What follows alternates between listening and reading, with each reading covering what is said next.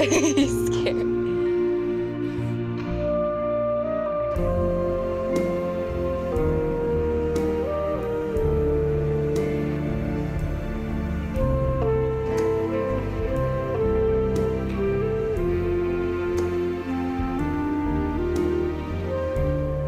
I'm a student, I'm a citizen, I'm an American, and I don't have rights like you do. According to the Constitution, when it was written, if you were black or a woman or a child, you were treated like property, no rights for you. A lot of things have changed since then, but for us kids, not much. When I was eight years old, I was molested. I was scared and I didn't know what would happen to me. I needed a home. I needed to be safe. I needed a lawyer.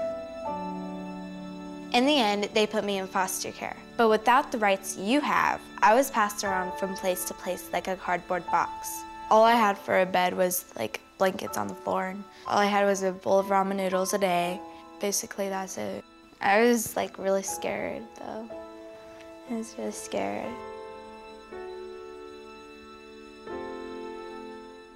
If you're under the age of 18 in our country and you're abused or neglected, you don't necessarily have rights. There are 2,200 places in America that either help you or they don't. It all depends where you live. Some places help you by giving you a lawyer, but most don't. Some places keep the abuse secret. Even when the kid gets killed, it is still kept a secret. I never understood who that's supposed to protect. The Supreme Court says I can't sue the government, even if they knew I was being hurt, but they still did nothing to help me. Adults that are getting hurt in prison can, but kids can't. Kids that didn't do anything wrong at all. I didn't have an adult that I trusted. Basically, the first parts of my life, I thought that they were taking care of me, but then I realized that they weren't. Once they started hurting me, I needed help. I needed safety.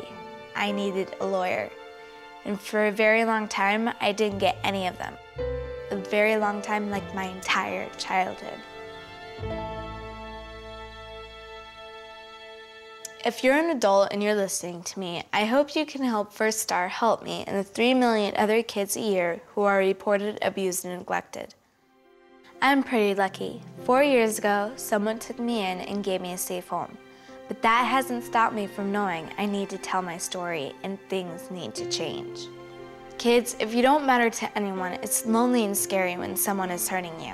I deserve to have rights like other citizens, the right to a lawyer and the right to sue if the system messes up. One day, I'll be an adult. I'll work together with other adults to make changes for kids who are abused and neglected. I'll work hard on getting rid of secrets, but right now it's up to you because I still have some growing up to do. Thanks for listening. Now, if you don't mind, I'd like to go back to being a kid again.